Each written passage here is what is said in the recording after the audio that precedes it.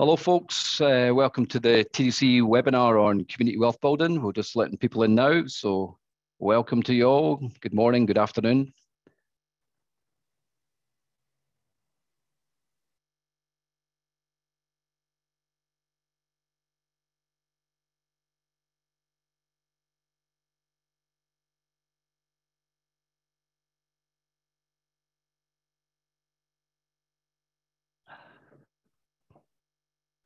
Coming in. Wait a few more minutes, a few more seconds, minutes.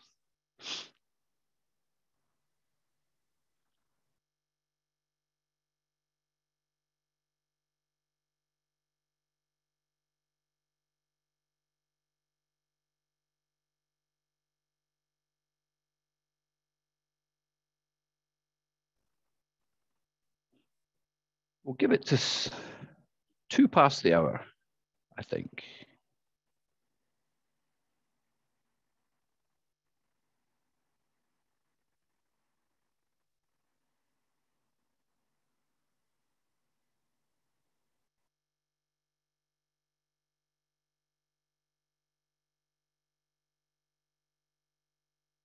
Hope you're all comfy. Get a drink. Ready to go.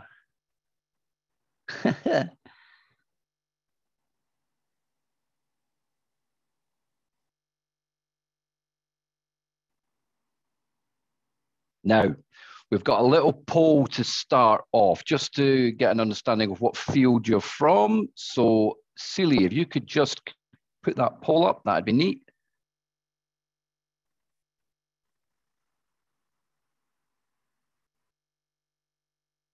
Just want to know a little bit about yourselves, pop it in from all across the States and internationally.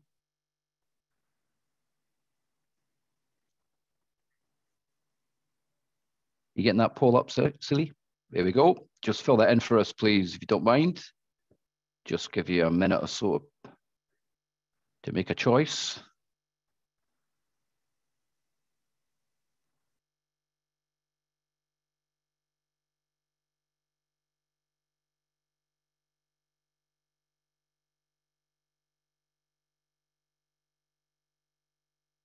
Fantastic. Got people coming in. You've got a poll in front of you folks for new arrivals. Just fill that in for us if you could. That'd be great. This is the TDC webinar on community wealth building.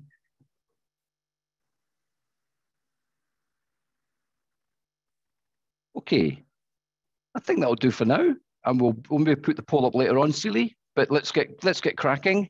Well, welcome everyone. I'm the welcome everyone. I'm the moderator for today. I'm the Senior Fellow for Community Wealth Building globally at the Democracy Collaborative. Uh, I'm advancing community wealth building in the UK, Scotland, Europe, Europe, Australasia, and here in the United States.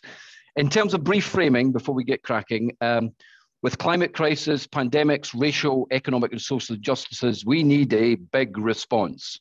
Uh, we know the problems. It's sourced back to an economy that doesn't work for us, our people, or our planet. Our economy extracts wealth from our communities, and whilst a few do very well, extraordinarily well out of wealth, uh, many do not. So, community wealth building is about rebuilding the foundations for a good life for everyone, everywhere. It's about rewiring the economy. We at TDC believe that we need to action things now. There's no time to waste. The big alternatives are known. We know the sad story. We now need to build a new story, a new chapter for an economy, a story that intentionally and deliberately shows the way. And we believe that community wealth building is that way. Today, you will hear from our TDC, our TDC, uh, Democracy Collaborative President, Ted Howard, and you'll have a brief history of community wealth building, the crisis moment we are in, and the transformation required. Then you will hear from our Director of Community Wealth Building, programs, my good colleague Sarah McKinley, who will detail our community wealth building method and approach. Then I'm pleased to announce we have three great representatives from locations we've been working. Uh, we have Candace Moore, who's the Chief Equity Officer with the City of Chicago. Hello, Candace, who, has, who asked us to leave after a contribution, but there was time for questioning of Candace. Then we have Hilary Abell, who's the co-founder and Chief Policy Officer at Project Equity, who I've been working with in Alameda County in California. And then last but not least, we have Mayor Jaime Kinder from Meadville in Pennsylvania, who also we've been working with. There will be plenty of time for questions, so post that in the chat or in the Q&As. So let's get going. Uh, over to Ted Howard, the president of the Democracy Collaborative. Ted, the floor or space is yours. Great, thank you very much, Neil. Hi, everyone. It's good to be with you. I wish we could be together in person. I know there are people all over the United States and from some other countries. Uh, I'm coming to you today from my home in uh, Denver, Colorado, the Mile High City. Um, community wealth building is a term um, and an economic framework that we at the Democracy Collaborative first articulated uh, back around 2005, 2006. And it really emerged more than a decade and a half ago uh, to challenge the underlying logic and failures of the trickle down economic development model that's practiced in cities and states across all over the United States and in many other countries. Uh, before describing um, some of the principles of community wealth building, um, I thought it might be useful to give you a bit of the history, uh, both of our involvement and even the precedents before the Democracy Collaborative became involved. So, Celia, if you could put up the first slide. Um, this is a slide, uh, very briefly, of um, uh, the journey we've been on at the Democracy Collaborative. We were founded in 2000 as a research center at the University of Maryland, uh, but we became a nonprofit organization with our own board and so forth fairly quickly. For the first decade or so of our uh, existence, we really researched um, alternative economic models at the community level, both in the United States and in uh, other countries. So we began looking at employee ownership, community land trust, community finance, cooperatives, and so forth. A, a real change in our evolution happened around 2010 2011 when, at the invitation of the Cleveland Foundation, uh, we uh, started the first model, on the ground model of uh, community wealth building in the form of um, uh, the Evergreen Cooperatives. This involved the city government, philanthropy, major anchor institutions. Uh, you see a picture there of the first business launch, the Evergreen Cooperative Laundry. We began with five employees and one business. Today there are more than 250 worker owners in the Evergreen Cooperatives. Uh, there are seven businesses and it's a very successful employment opportunity and wealth building opportunity. Evergreen in turn inspired other communities around the country to begin experimenting with their own community wealth building models. Here you see uh, the Thunder Valley um, Community Development Corporation on the Pine Ridge Reservation, in South Dakota, where the Oglala Sioux work to create jobs and build wealth in, uh, in a community that has extremely high unemployment and is ravaged by uh, hundreds of years of disinvestment. In 2015, community wealth building uh, went across the pond to the United Kingdom, where the city council of a community named Preston, an older industrial city in the north of England, began a very multifaceted community wealth building strategy that over time took Preston in just seven or eight short years from one of the uh, most deprived communities in all of England to uh, one of the most improved and better places to live in the north. That in turn inspired community wealth building uh, strategies and models all over the United Kingdom. Uh, Scotland uh, and North Ayrshire has one of the most robust to this date, and indeed the Scottish uh, government is now um, preparing a Community Wealth Act that will be introduced as national legislation next year. And then finally, uh, and today we have representatives of us from local government, city and county, um, who are going to talk about the community wealth building uh, efforts that they have underway that we've been partnering with them on. Uh, Celia, if you could take down that slide, please. So while the specific term and framework of community wealth building is fairly recent, uh, there are many, many uh, uh, antecedents to community wealth building that span literally thousands of years that have come together in this moment. So as we sit here, we are part of a grand tradition, a human tradition. And let me just give you some of it. Uh, in the Old Testament, to go way back, the book of Leviticus speaks of the year of Jubilee. That was a time every 50 years when all the slaves and prisoners were to be freed in Israel, when all debts were to be forgiven, and when all property would be redistributed equally. And this was to happen every five decades. Traditionally, indigenous communities in the United States and in North America believed that land should be held in common by the whole people of their tribe.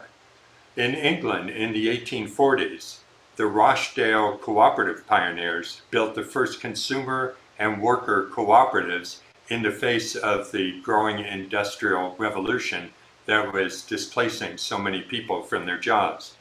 In our country, in the United States South, after our Civil War, freed slaves and their descendants began cooperatives. And later, during our civil rights movement, black farmers created early forms of land trusts in the South.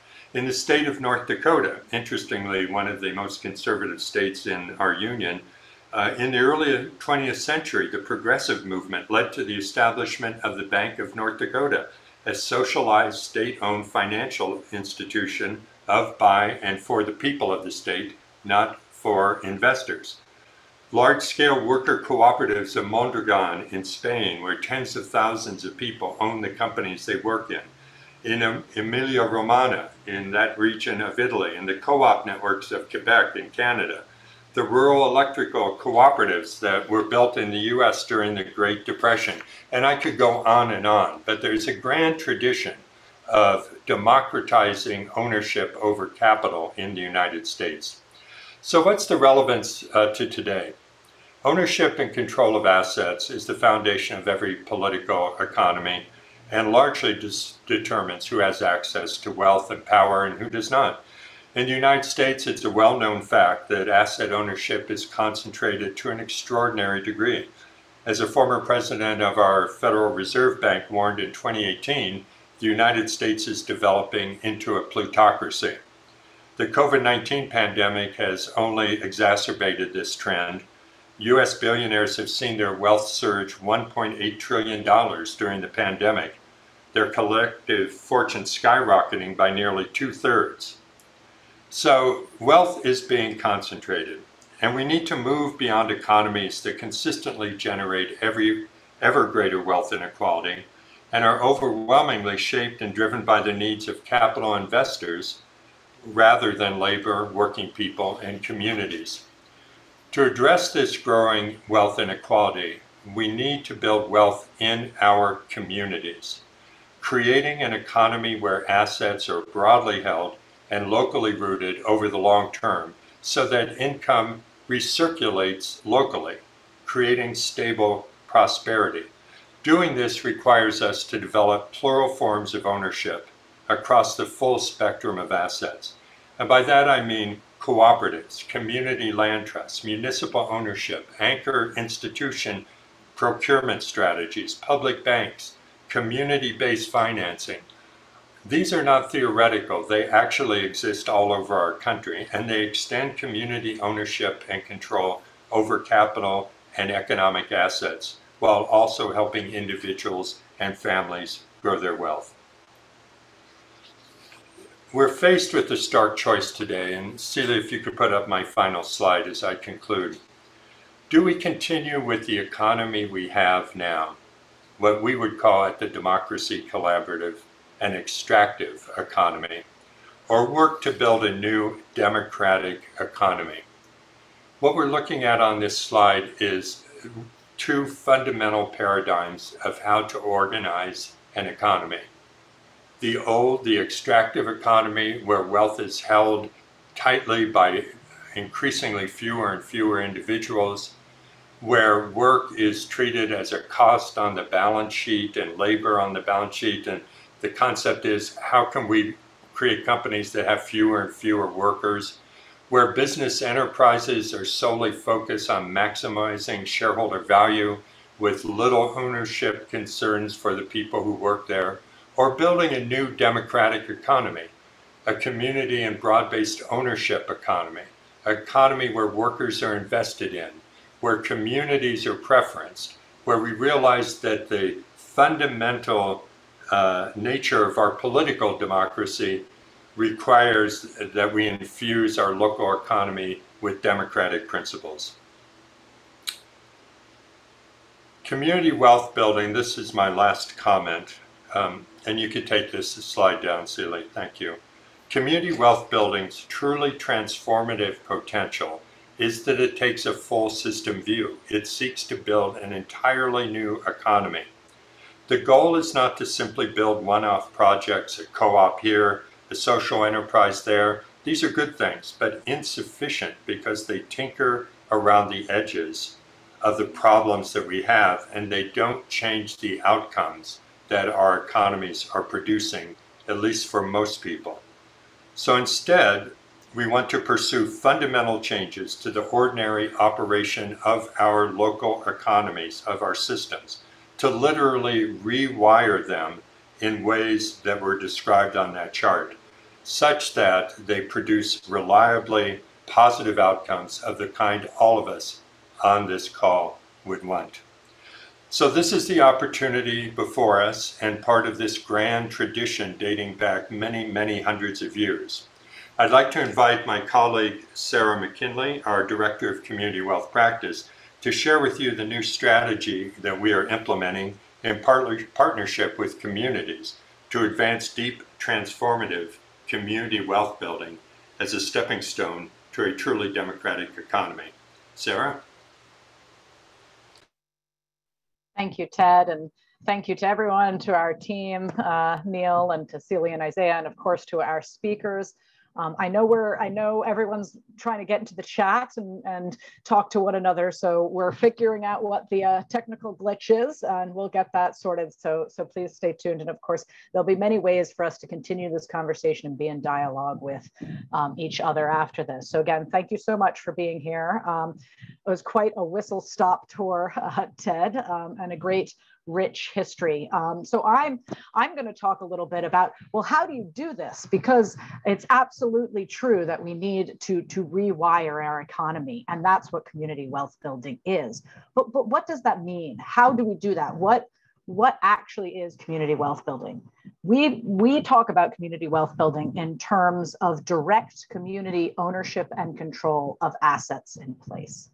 And our goal now is to really move a lot of the activities that do that from the fringes to the mainstream of economic development. Um, so Celia, if you could please, uh, uh, my first slide. Um, uh, so I'm gonna talk a little bit about how we talk about how, how to do that in place. And we talk about what we call the five pillars of community wealth building. Uh, please, next slide, Celia.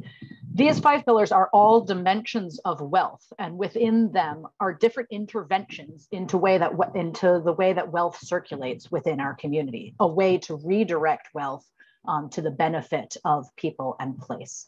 So first, we talk about progressive procurement public and institutional purchasing of goods and services are a huge part of our local economies. So how do we ensure that that money is recirculating within our economies, eh, excuse me, within our communities and benefiting the people who live there and work there and create that wealth in the first place? So redirecting the spending of local uh, governments and local institutional actors to connect to local businesses and especially democratically controlled businesses in the community land and property. Land is a huge wealth generation, uh, generating asset in our communities. So how do we, how can public land and community land be used for, for putting productive use um, of that land and property back to community benefits? Things like community land trusts um, in our communities are very common. That's one way that we can do that within, within a community wealth building framework. Fair work our own labor generates wealth. So how can we ensure that we're benefiting from the wealth that we're creating by ensuring living wages and secure unionized jobs for workers, while also creating opportunities to work for workers to have greater control over their work environment through new employee ownerships and new democratic forms of governance. Next slide, please, Celie. Inclusive and democratic enterprise is a huge part of a community wealth building approach. A thriving economy needs diverse enterprise forms that meet the needs of people in place at different scales everything from cooperatives, all kinds of cooperatives, consumer, producer, employee-owned cooperatives, social enterprise, democrat democratically controlled public enterprise. These are all various forms of ensuring that we have a diverse and, and inclusive enterprise uh, landscape. And finally, locally rooted finance, which ensures that the wealth that is being created through the assets recirculates in a way um, uh, that is investing in the real economy in place, investing in the people and the enterprises that live there. Things like community development financial institutions, cooperative banks, public banks, things of this nature. So what does this all mean? Um, Celie, please, next slide.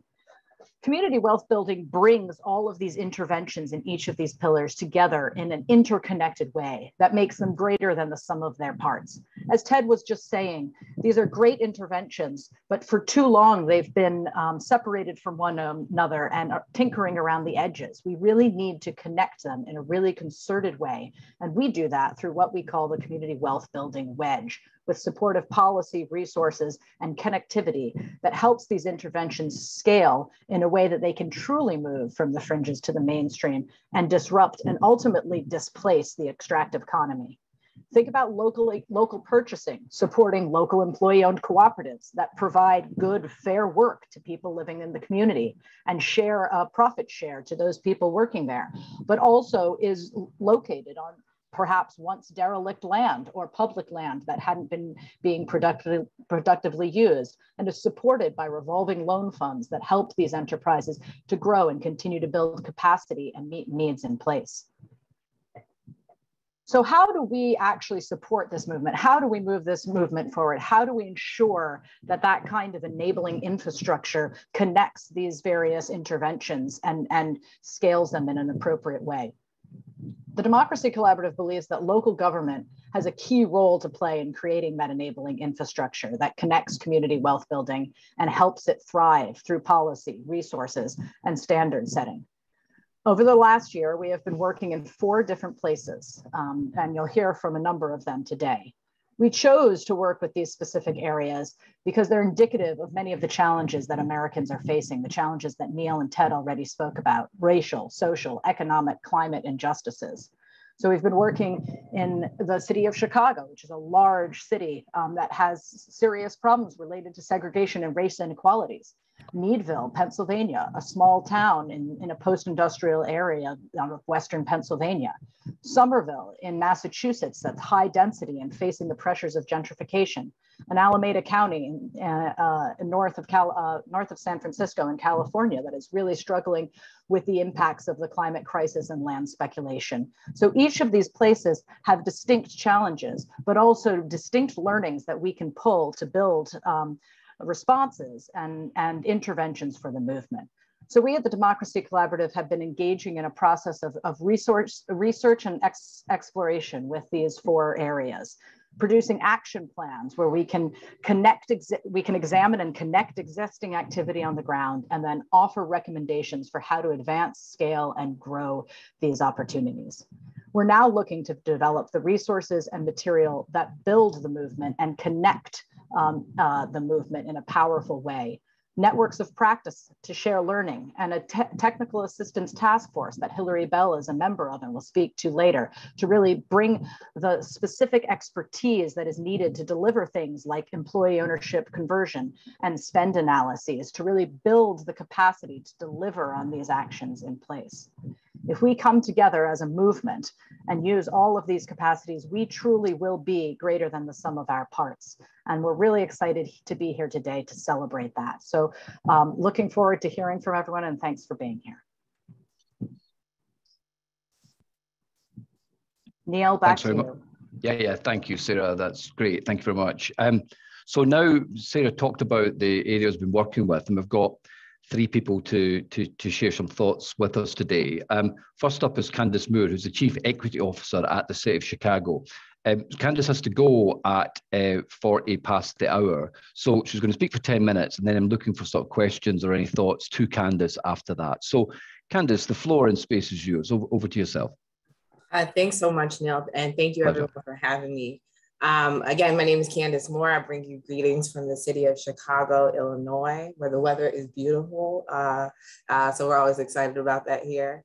Um, I want to take uh, some time this morning in, in, in, my opening remarks to share a little bit more about who we are, who I, who I am, uh, who my team is, I want to talk to you a little bit about our community wealth building journey here in the city of Chicago and close out my opening remarks with just some uh, quick lessons learned that we're gleaning at this stage of our work. And then I'm more than happy to um, answer some questions um, and engage with you all a bit.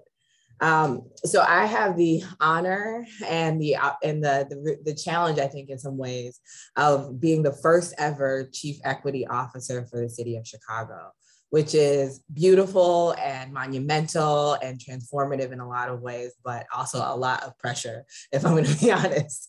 Um, and in my charge, I lead our Office of Equity and Racial Justice.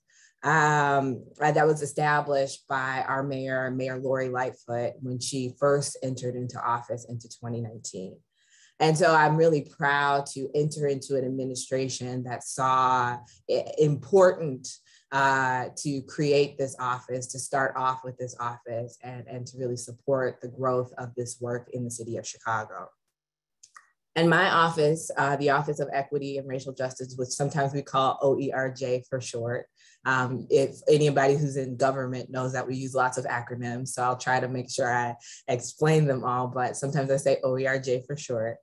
Um, but our office seeks to advance institutional change that results in an equitable transformation of how we do business as across the city of Chicago. That's really important to me. I think that when we talk about equity work, we need to be talking about the whole system. We need to be talking about how we do business, not a program, not just a, an initiative, but really the core work of our institutions and what outcomes and what processes are we using to drive towards those outcomes that create more uh, fair and just results for our communities. Um, and so the how we do this is that we do a lot of work to support our city departments in first normalizing concepts of racial equity, recognizing that the language of equity for lots of folks is something that we have to normalize. Um, we don't always put it on the table. There's a lot of coded language. And so we have to get comfortable talking about it with some real uh, clarity if we are going to work on it in, in, a, in a meaningful way. We also recognize that we have to organize staff to work together for transformational change. And then um, we also have to operationalize new practices, policies, and procedures that result in more fair and just outcomes. In my office, uh, OERJ has three strategic pillars uh, in, in how we are sort of advancing our strategy to move this work. The first is to support community healing. So recognizing that harm has been done, we do this work in a rea- in a real world where harm has been done, uh, often by the institutions that we are trying to transform. And so we have to create and center healing, um, rebuilding relationships, acknowledging, addressing harm as a core and foundational piece to the work right? If we need uh, to support people and people need to take leadership in the work, then we can't bypass the trauma, the harm that has often happened. Uh, we have to go through oftentimes a really challenging process of, of rebuilding those relationships. And so centering healing, I think is an important mechanism for us to do that. The other thing is that uh, in our second pillar is that we need to build restorative tools and partnerships. Uh, to do a new way of business recognizes that we have to have new tools and new ways of doing that. So I often say uh, equity work is innovation work because we have to recognize that oftentimes we are building things that we have not seen before, right? We are trying to drive at results that we have yet to realize. Um, and so we're going to need new tools and new ways to do that. And then the third is that we have to own institutional transformation.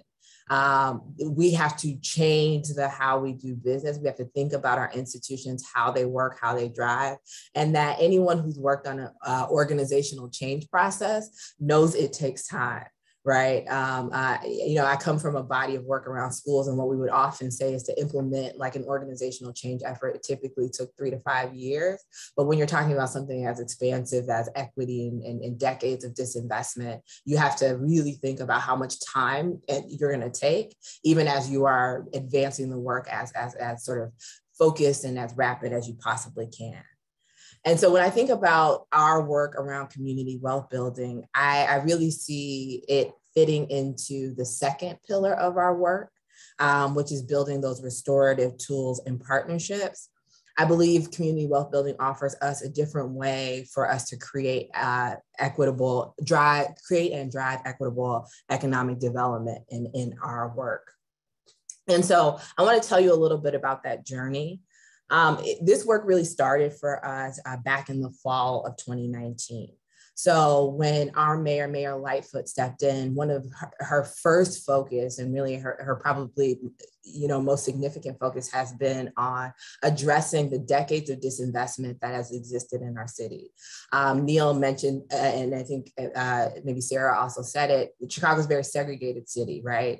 Um, and there's a deep history of segregation. There's also attached to that a deep history of disinvesting in communities by geography. Uh, for Chicago, we often call it's the South and West Side, which in many ways is synonymous to, with Black and Brown communities. Um, and the mayor, when she stepped into office, really made a commitment to say, we are going to start trying to right that ship. That means we're going to focus and drive a lot of our investment into the south and west sides of, of the city. Um, but one of the things we were charged to do in our office was to really think about what does it take to really drive equitable development. Um, it is not just taking our, our economic development tools and putting them in the South and West Side and hoping that they will work the same way that they have worked for other communities, right? What must be different? What must we think about?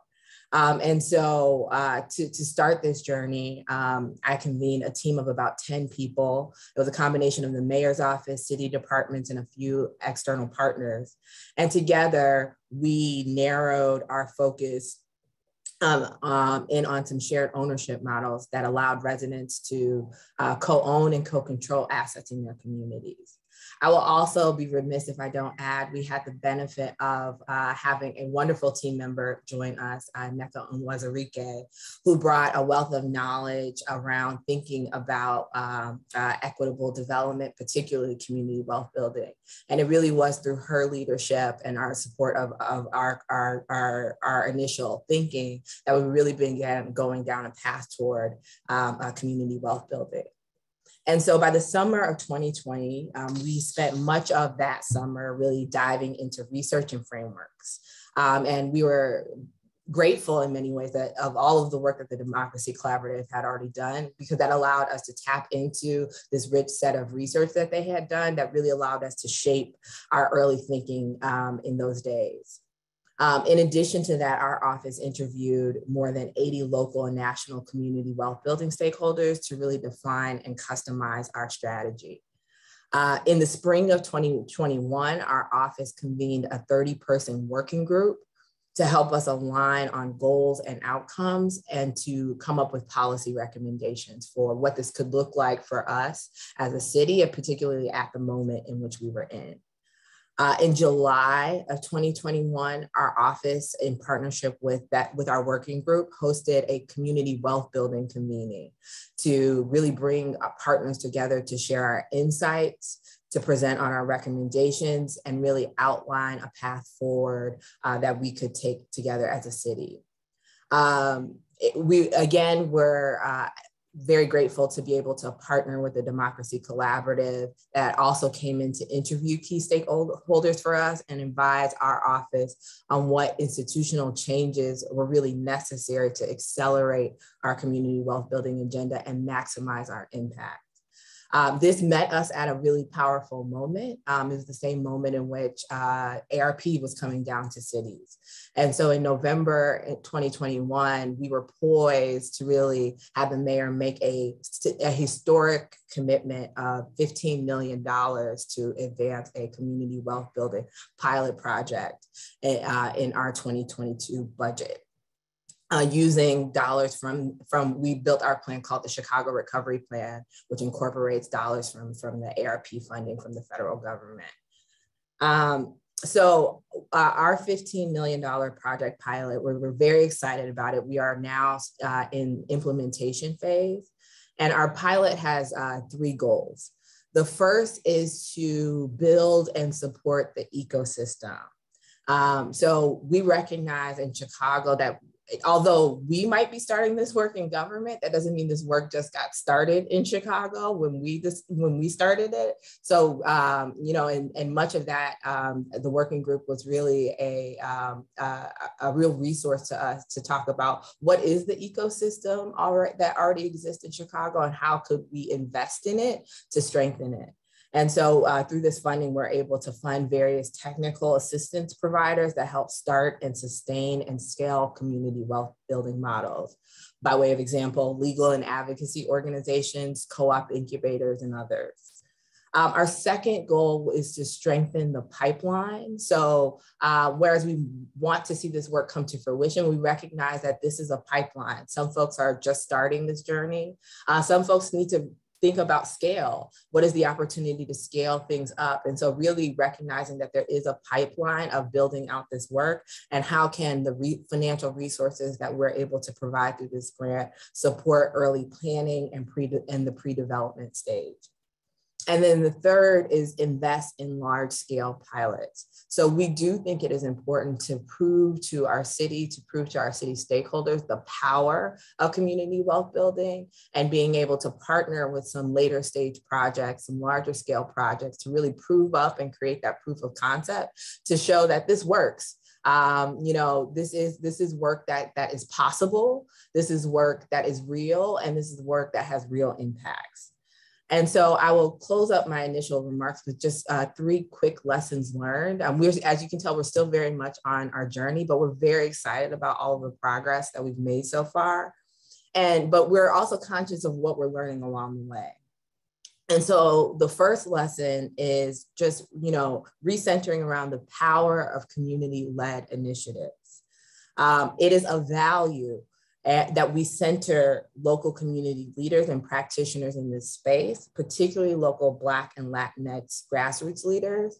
And so to prove up that value is a continual uh, test, right? Um, that is not always how the way the way the world naturally works. And so we have to be mindful, even as we value that, that we actually bring that to our practices. And it, there are times in which we move too fast and, and, and, and sometimes our communities have to call us in. And so really centering around that value and supporting one another to make sure that that is true.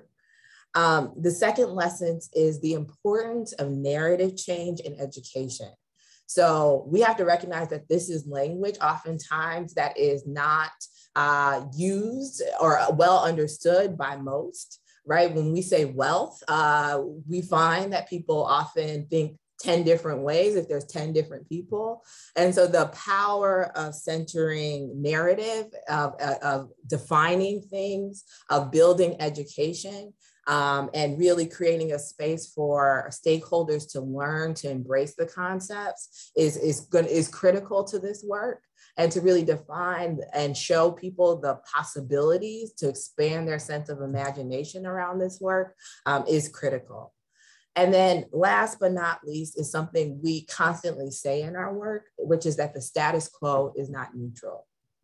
Um, we have to recognize that how we how things are today are creating the exact conditions that we see today. And so if we say we want something different, it is affirmative work. And so community wealth building, I think, gives us a powerful vehicle for a systems change initiative to make our economy more sustainable and trust uh, and just. And so we lean into this at recognizing that we must advance, we must actively advance, we must bring new models, new energy, new resources to the work um, if we want to see different results. And so I'll, I'll just close by saying I'm truly excited about this work. Um, I wasn't, I did not know much about community wealth building before I started this role. It is through the partnerships of our community members, the uh, expertise and the dedication of the Democracy Collaborative, and then our, our you know, fearless uh, leader, Nneka Onwuzurike, who really has been teaching me. And, and, and, and in that, I'm so excited about the possibilities for our city. Thanks, thanks, Candace. That's fantastic, uh, and it's been great working with you. So thanks for all your support and and helping us to work with you in Chicago. Uh, you mentioned something there about how community wealth bonds should be about a different way of doing economic development. I'm just wondering if you could just push you a little bit on the challenges of that in terms of a big city like Chicago and how you kind of turn the wheel or turn the dial, if you like, on how economic development is practiced in the city. Yeah, and you know, I'll be very candid. Um, Good. There is a tension in our city, right? Because um, when the mayor steps in and says we are going to address this investment, historic disinvestment in that in our city, people want to see things now, right? And they they feel like you know politicians say these things all the time, they never get it done. Um, uh, to be honest, it takes a really long time to move the needle in government. It's a powerful tool, but it can, man, it can be challenging. And so all of that leans towards t- dusting off old tools and uh, dusting off a plan that you might have and just trying to implement it as fast as possible. Additionally, although I think community knows what it wants, we all are limited by our often our lack of visibility and imagination around things. And so uh, folks will often accept and or ask for just uh, you know slightly tweaked versions of things that they've seen seen all the time um, but they know and they recognize and, and when we get in conversation we can talk about how this doesn't fully capture all of the things that they would like to see. But at the same time that tension around pace and and and now it, it, it is real. And so I, I think trying to introduce a new way of thinking or to try to connect people to a different way of thinking about this can be quite challenging right um, and but what I have appreciated is is actually the power of just connecting into. There has been a ton of great work in this area, right? There's a ton of great examples in our communities. And so, one of the things that we've tried to do is also show our economic development teams that actually these models already exist in some of the things that you are funding. The difference is that they've like contorted themselves to match your framework but you could actually we could actually be more supportive outright to change how we do things to embrace this and actually get more of these kinds of results. And and and we have some great you know and promising examples of that here in the city. And i think we are really beginning to turn a corner now, at the same time, those traditional uh, methods are still moving. And so, you know, some of it, I just personally think tactically is like, I want to try to tweak some of those as much as I can, even while I'm trying to build up the, the new and recognize and, and galvanize the momentum that is happening to try to grow what we need to grow in our city. Yeah, fantastic. Um, uh, the chats function is not working on the webinar, but the Q and A is. So please place your questions in the Q and A. And there's one question. If I could just, I've got a few minutes left, Candace, from Kerry Leach, which is a, a, good question about can community wealth building be community led?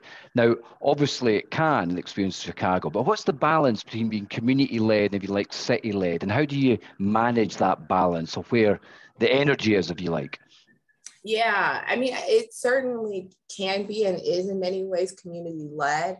I think when we think about the city, though, you know, it is work. It the way I think about it, it is the worthy of the partnership of the city, right? And it's worthy to be embraced by the city. And there are roles that the city can play to really help move the work. The city often can be a, a, you know, you know, as challenging as it is, sometimes it is a neutral convener, right? It is a way to connect communities uh, that don't have the the the reach and the and the scale yet to really think citywide. They may only be able to think community wide because that's a set of resources that's where they're most proximate to. This work shouldn't sit at odds with one another. I think there are challenges to think about how they are mutually supportive, um, how we can make sure that the community led initiatives have what they need to continue to flourish, that they become experts in the buildup of citywide strategies, and, but that the city actually owns its responsibility to really be thinking across the, the entire landscape and to think about all of the institutions and ways that it can influence and actually own its part and responsibility to the work. And so I think there is a partnership to be achieved. Um, um, and we shouldn't think about these things um, as as fundamentally at odds with each other, even though that in practice sometimes you got to do some work to get them in alignment. Yeah, it's all about that sort of traditional mainstream top-down approach to economic development that so bedevils our cities, and I think that is what you're sort of seeking to overcome in Chicago. Hey, Candace, thanks very much for your time. Uh, uh, I know you've got to go, and your eloquence is always, your clarity, and keep up the good work, and hopefully see you soon. So thanks very much for your time.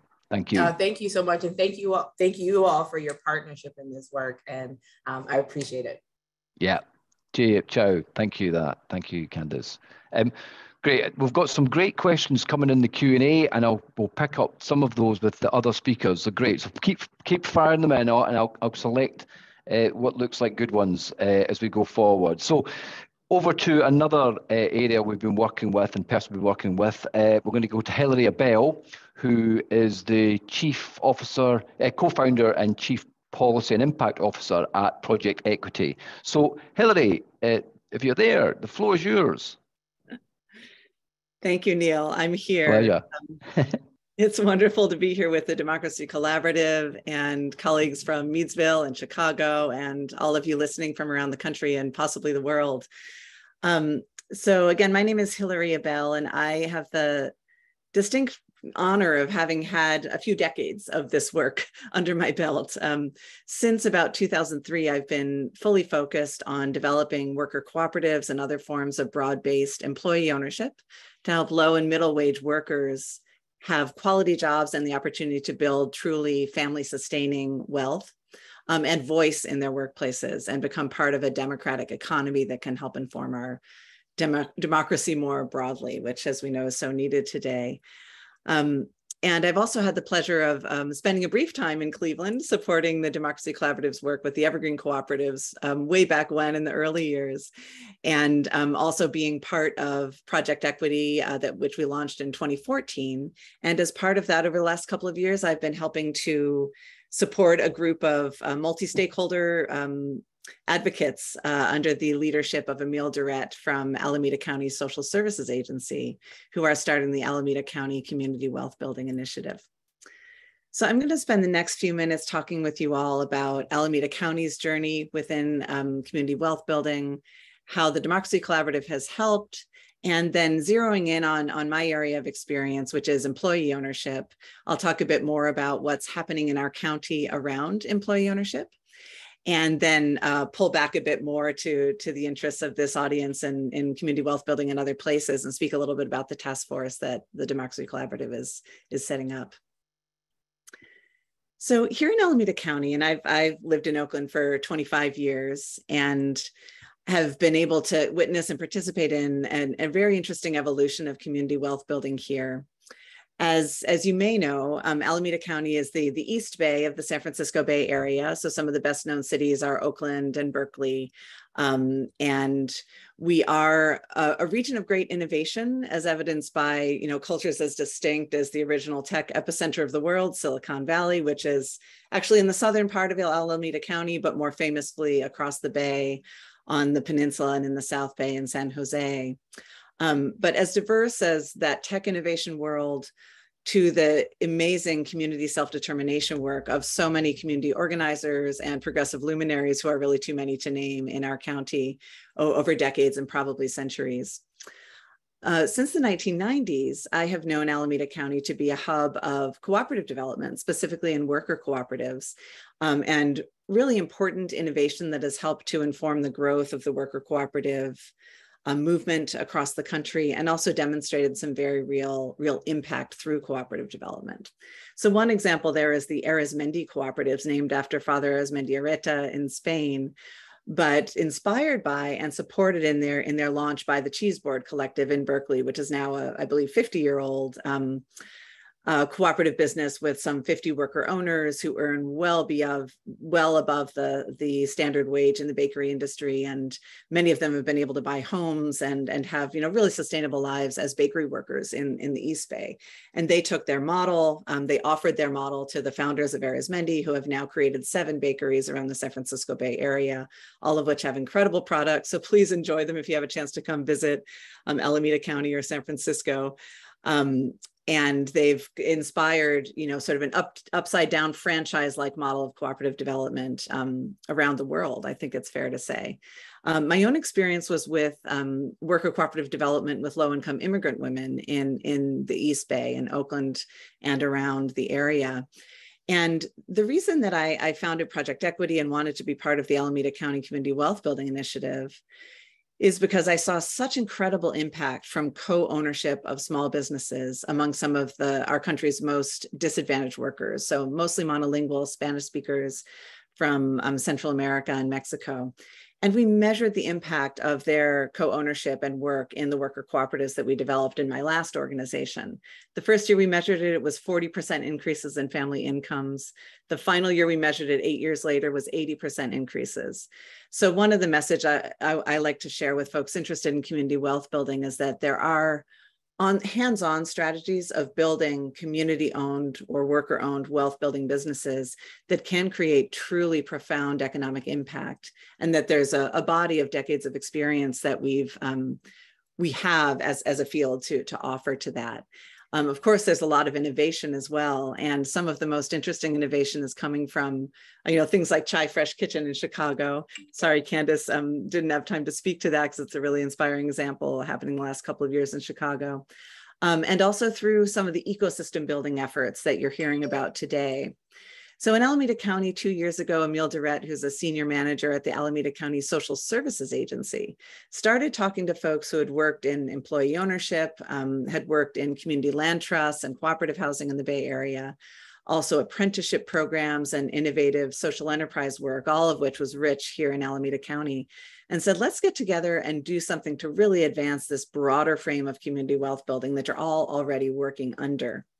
And over the past two years, we've um, met and established a steering committee for this organization, an organizational home for it, and most important, over the past six months, been essentially making the case to Alameda County supervisors that community wealth building is the type of economic development that we desperately need here in the East Bay.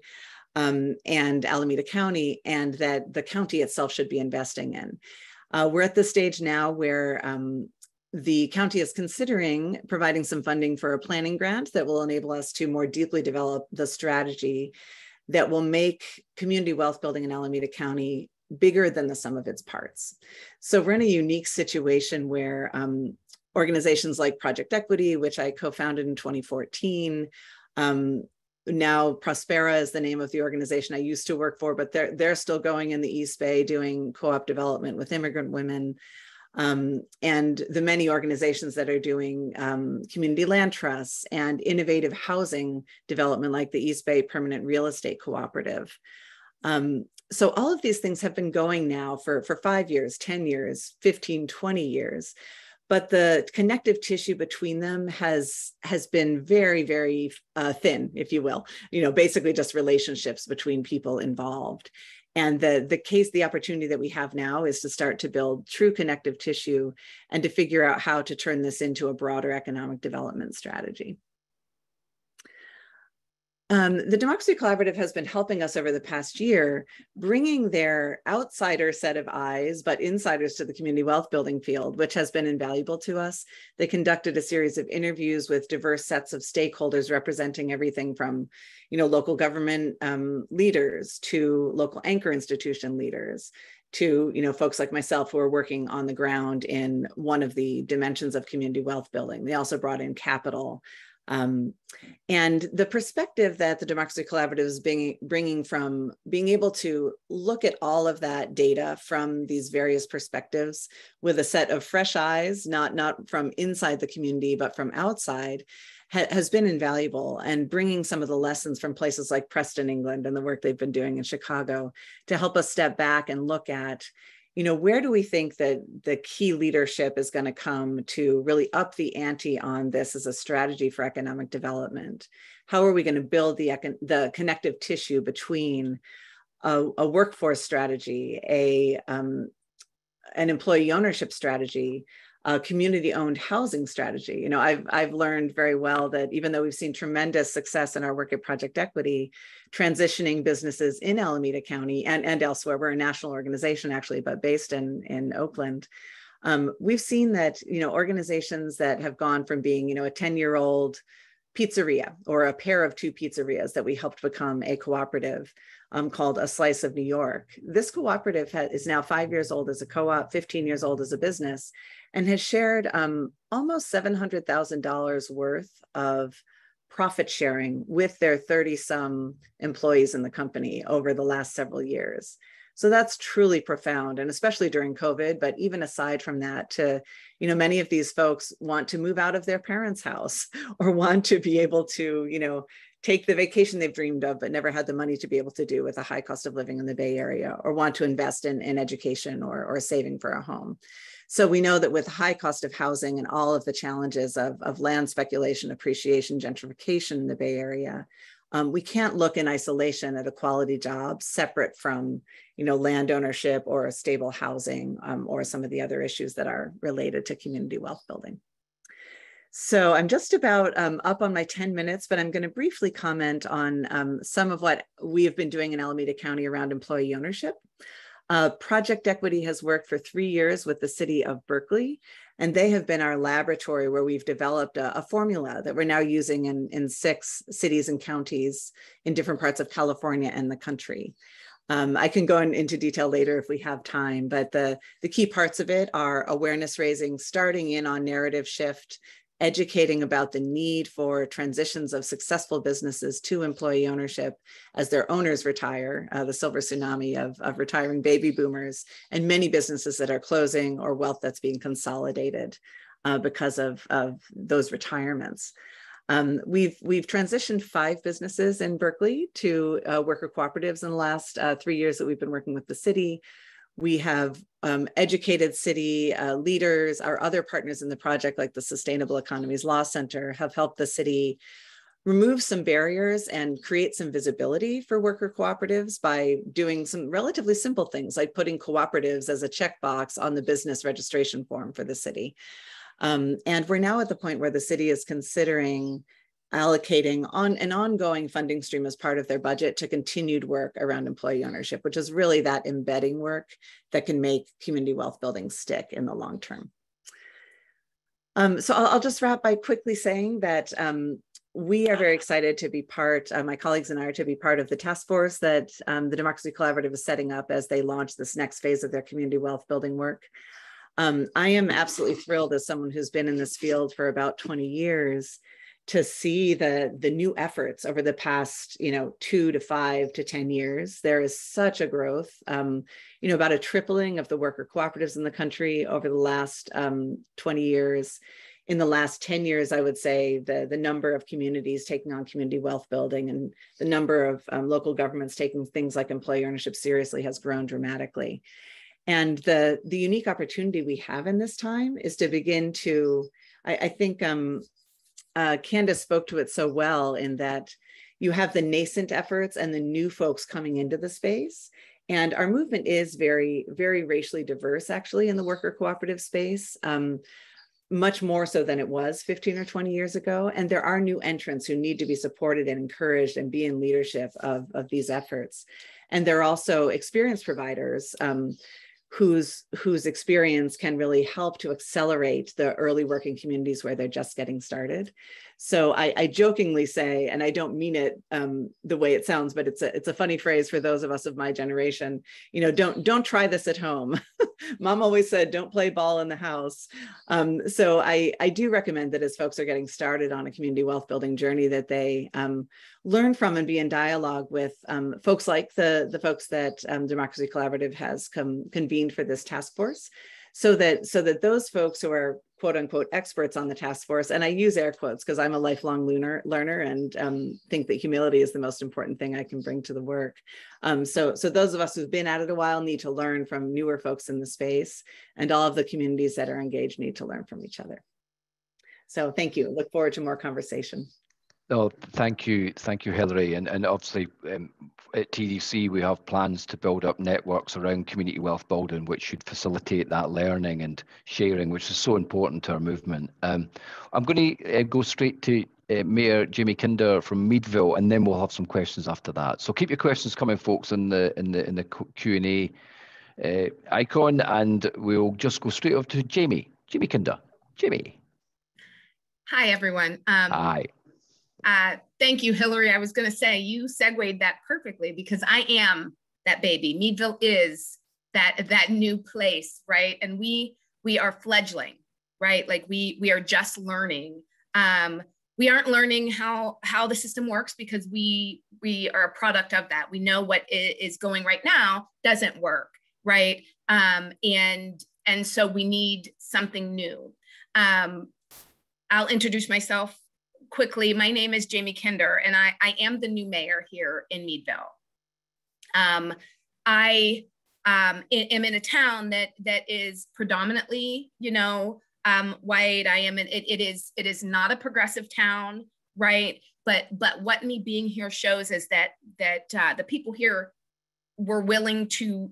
They, want to change. They voted for a change. They they need something. We are we are lacking in something, and and um, so so what what i see that is is is um, the fact that that we don't we haven't been planning for the people who live here right? Um, we don't have a democratic economy. Um, we've been run forever. Um, i wish you guys could see the wall of mayors outside of my office so you could see what i mean when i say we have been run forever by the same people and the same families doing the, the same thing right? That doesn't work for for us. Um, so uh, in a town of 13,000 people, right? And and we are small town USA. Um, for for us, um, we have to we need a new perspective. Every town has a, a, a fringe group of people that are are working hard for change, right? Um, that that have these new great ideas and that they are pushing um, because they understand what's going on, right?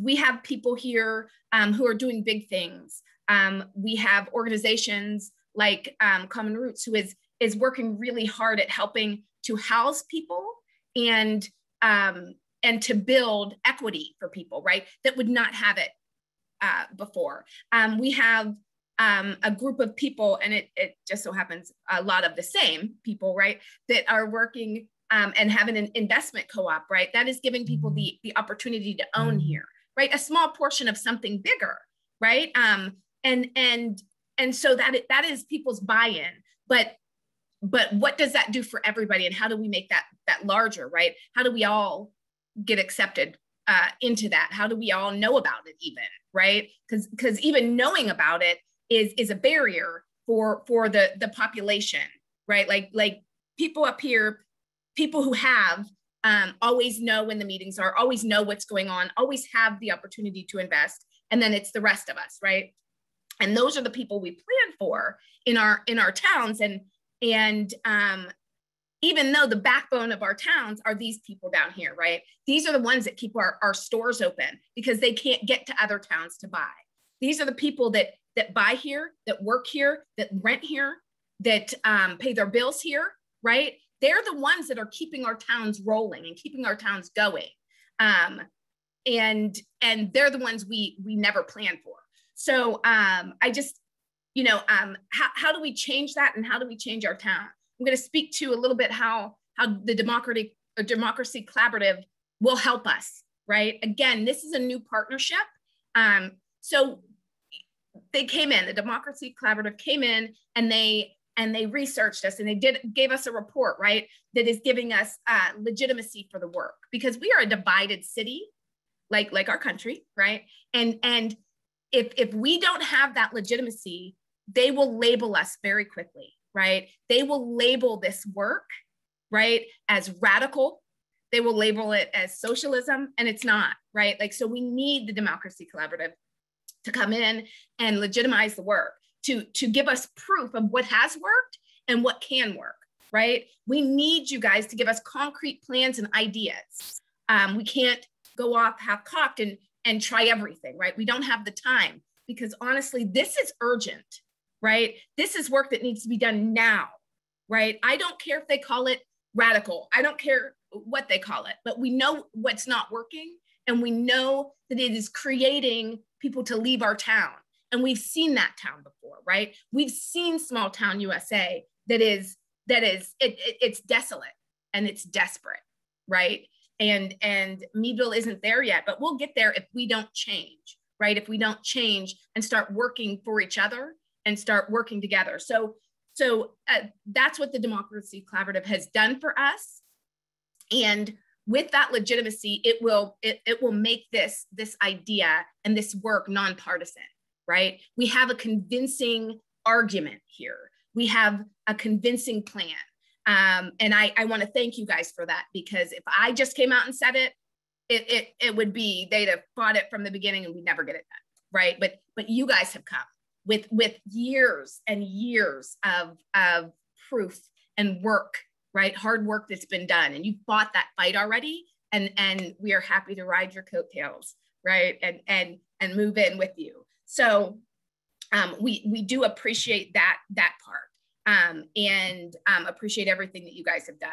Um, so, so what is, what can Meadville do to move forward?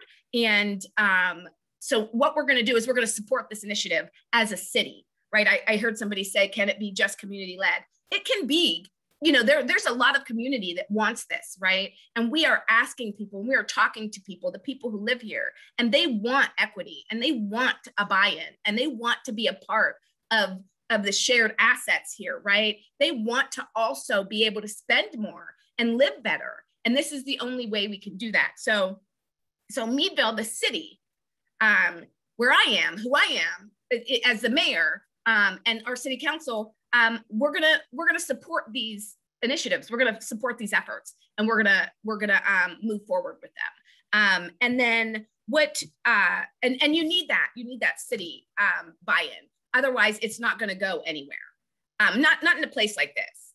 Um, and and the real challenge is is going to be are, are the people that are against us, right? They're going to fight really hard, not because it's not a good thing, just because we said it.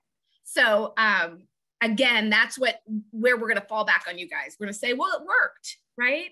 Like, like it worked, and and and these are the people that are doing it, and it's not just in in Cleveland and and in California, right? It's in other countries, and so um, we will be leaning hard hard on you guys, and we will be asking for help, and we will be asking for um, um, your your uh, opinions and your help.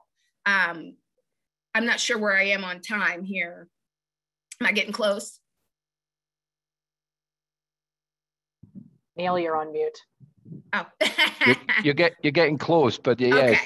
Final okay, closing so, marks. Go for it. Yeah.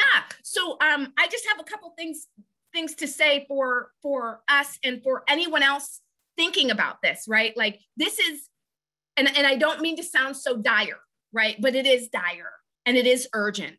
Um, and and we need to do this with, you know, um, we we need to do this now um, for for the sake of our country, our cities, our people, um, uh, or we will fail. Um, it is it it is it's okay to be new and it's okay to start now, right? Like reach out and start now. Start today. You have to start somewhere, right? We don't we don't want to see these small towns fail because they they thought they missed the boat, right? So um, that's kind of where I'm going to leave it. I know I'm I'm you know all over the place here, but I'm excited um, and I'm thankful for for the work you guys have done and uh, to be a part of this this initiative and be able to bring back to to my people because I am I am the mayor, but I'm also uh, poor, like like poor, right? I am the people that will will benefit from these programs. I represent them, not just Meadville as a mayor, but as a people, as a black woman, as a single mother, as as you know somebody that that that needs help, that that um, falls on on the kindness of others to survive and and and and be successful. So um, thank you for having me, and um, I, am just really honored to be in this room. Uh, well, thanks, thanks for, thanks for, thanks for, thanks for being you, Jaime, and thanks for all your work you're doing in Meadville, and it's a pleasure working with you.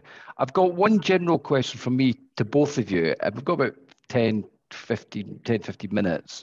Um, one general question. I'm going to pick up a couple of questions from the from the question and answer uh, chat. But what as Sarah talked about, you know, inclusive and democratic enterprises, uh, locally rooted finance, fair work, just use of land and property, and progressive procurement, and how our wedge idea. It's about all of those coming collectively together. Just Hilary and Jaime, how important is to not break out of our own sort of progressive silos like employee ownership or or community land trust and start to think about the whole suite of activity as, as we do in community wealth building. Do you want to give some thought to that, Hilary? How important is to start thinking across the whole suite of activity? I do think it's very important. It's sort of like the think globally, act locally phrase. Sure. I, I do think that it's incredibly helpful for us to all of us in this work to to reframe economic development as community wealth building and to bring that that lens. Um, i'm also uh, an old friend once called me a practical visionary. I, I, like to think big. I like to i want to change systems. I, I truly feel that's what we need to be doing. Um, and i also really believe in the in the concrete demonstration projects and then the replication of those and the improvement of those and the scaling of those as well as the broad framing. So i am a big fan of um, you know digging in somewhere you know it, i think in in cleveland the the demonstration impact of the evergreen cooperatives has been extraordinary and there are other ways that we're demonstrating ways that anchor institutions can support community wealth building there's some new strategies emerging um, there's, you know, creating employee-owned enterprises. There's creating um, community land trusts or, or, cooperative housing, and there and there's more than that.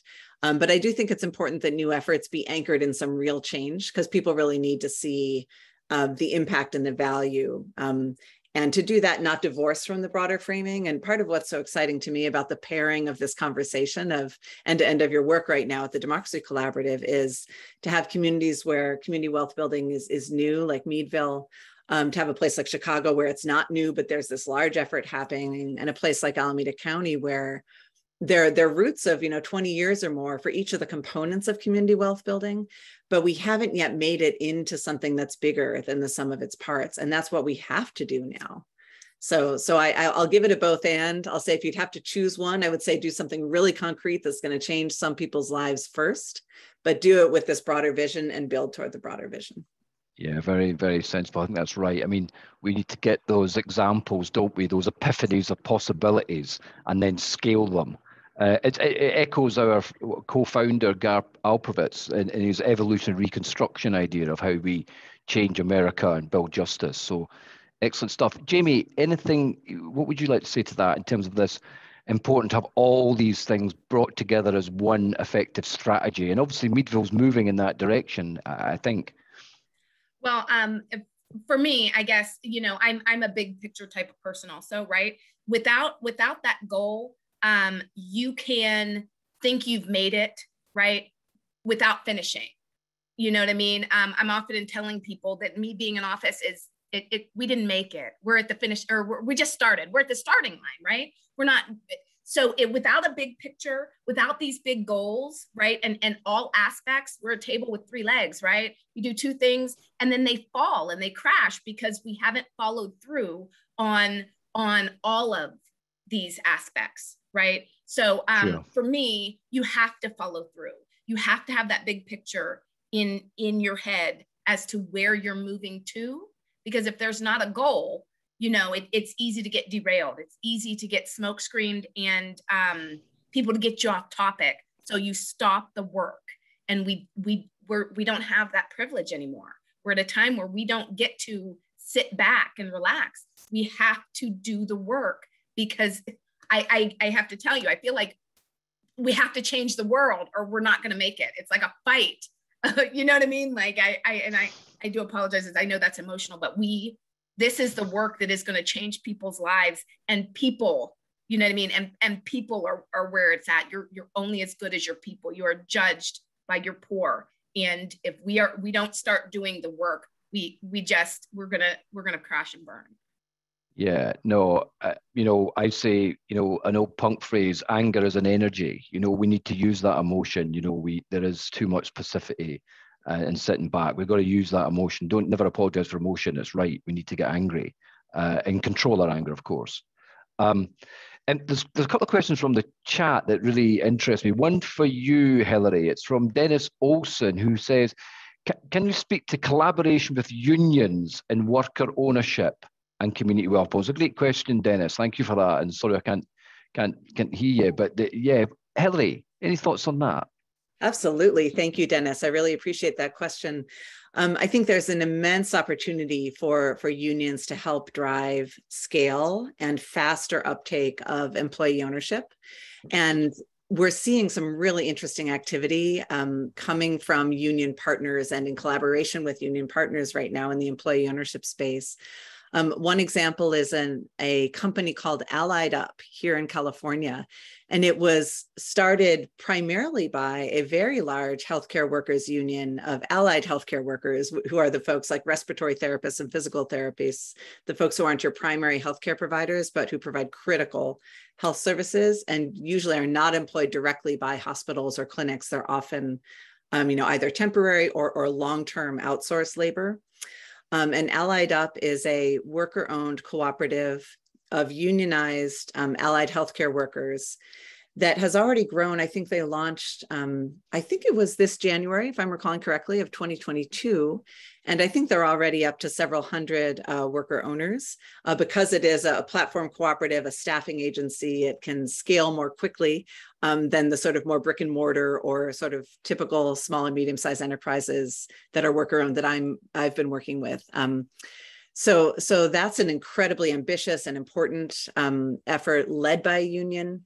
Um, and there are a number of unionized worker cooperatives. There always have been, uh, but there is a growing movement of unions and um, employee ownership advocates and, and cooperative developers working together, which I think is going to be very helpful in in growing the space. And I just want to say that I so appreciate Jaime's words. Um, and in particular, I'm going to take away today, it's dire and it's urgent and i couldn't agree with that more. So we need you know major players. The union movement is is having a resurgence.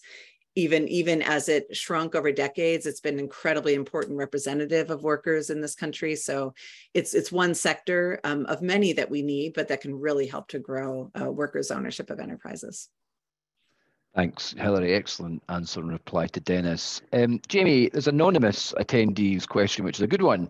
Uh, uh, uh, Mr. or Mrs. or Ms. Anonymous, does community wealth building have bipartisan support? And if not, could cross-party coalition be built? I'm intrigued. I know a little bit about Meadville. I, I'm intrigued about how that plays out in Meadville. So, um, unfortunately, everything here is divided, right? Um, yes, yes, we can create um, a coalition to build bipartisan support, and that that's only that can only come because uh, the Democracy Collaborative ha- has been involved. Right? It couldn't have come if we would have tried to do this alone. And I, I'm I'm saying that because even these fringe organizations that are doing these, this beautiful work, this this big work, um, are are being pushed and stopped at every corner. Not because they are taking from anyone, right? And I feel like Meadville sees all of this stuff as a pie. And if we take a little more on this side, they get less when it's two pies, right? It's not, it's not the same thing. So um, it, it's it's they're holding on to power here. And we are an affront to that, um, to, to be honest. And you know, they're they're they're holding on so hard that it's they're not understanding what they have to gain by doing this, by people having more, by people being able to spend more, by people having more buy-in to their their community, right? So yes, I think we can make this a, a, a nonpartisan issue. I think with with hard work we can do that, and there'll still be you know a faction that we're not going to reach because that's how that's how life is, right? Um, but I think that that this is this is a um, this is a plan, and this is a, a an idea, and this is a strategy that everybody can get on board to once once they think about it and once they have a couple of people that they know that are on board right? Like that that's what that's what we have to work for. So so yes a coalition would be wonderful and and i'd be so happy to be a part of that yeah, that's great. And now the chat function's working. Hurrah! And I love the point you made. I think you've been talking new com- the new common sense there, and I think that's a really, really thing we're looking for. Just pushes one, one another question from anonymous, anonymous attendee says, does Meadville have any specific initiatives that are percolating up? I'm assuming that's starting to build things at scale. And anything you, that comes to mind there, Jaime?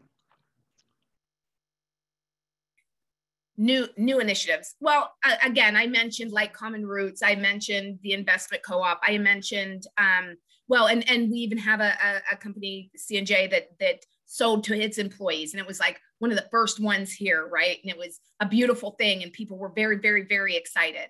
Um, and and it's working beautifully right? Um, again all of those things are on the fringe. Um, we've got big ideas right? Like like we want our anchor institutions to get involved. We want them to buy here because often yeah. we say, hey, hey, Jaime, shop local, right? Jenny down the street, shop local, but we never uh, hold responsibility to those institutions that could save the half of the businesses in town by just giving them, you know, some business, right? Including the city, right? like we need to make sure that that these are things that that we're pushing along with, um, you know, pay rates, right? And and i'm telling you right now i'm ready to hit the ground running on on asking those those anchor institutions um, and and pushing those pay rates right? Right in my town i will ask them myself. Um, so uh, again thank you for this framework. This this is the work that um, i am passionate about and my city is is what i believe in and the people here. So so i appreciate the Dem- democracy collaborative Thanks, thanks, thanks for the thanks for the, the, the, the plug. I think yeah, the framework and the, across the five pillars that Sarah mentioned, I think are a, are a good starting point. That action plan is a great starting point to advance your own community wealth building strategies in place. It, there's a question from Matthew Busby, uh, Hilary, um, which is what is the best way to approach local governments to get their attention? And, and clearly, we have got the attention of Alameda County and Berkeley and Oakland and others. But I'm just wondering, what, uh, what, what do you think got their attention initially?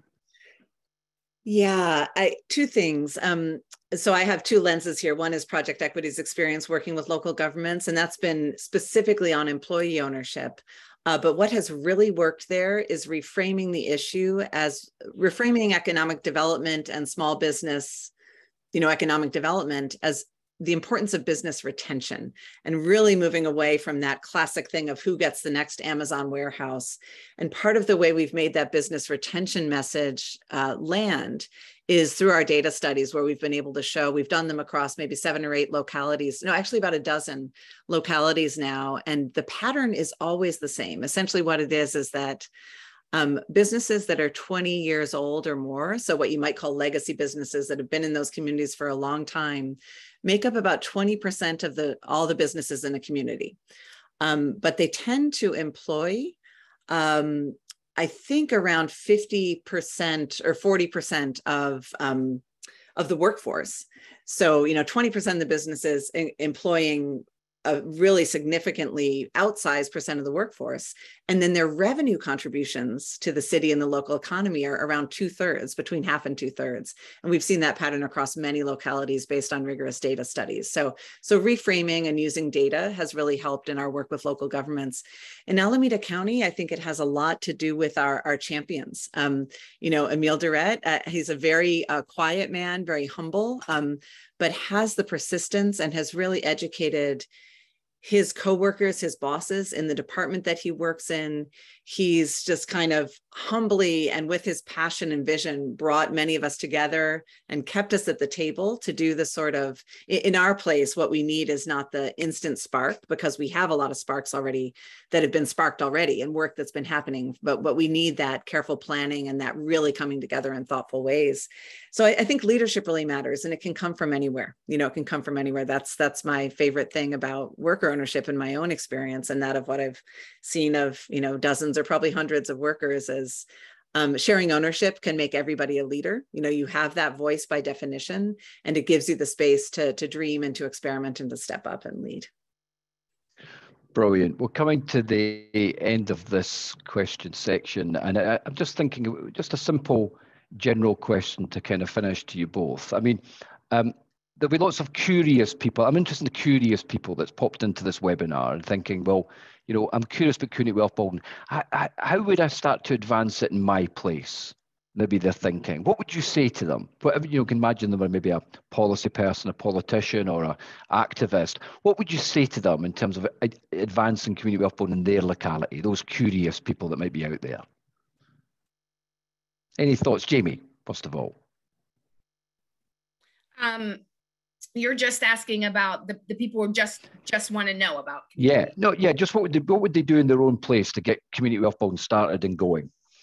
Well um i i think first right like like um i have watched every video online and and i have studied you guys right? Because here i am on a panel of, of brilliant people and i i want to know i want to know what you guys are doing. So get out there and look and see what's going on but but i mean creating these organizations it's not easy and it's slow moving but the work is good and and and the work the work um it it works.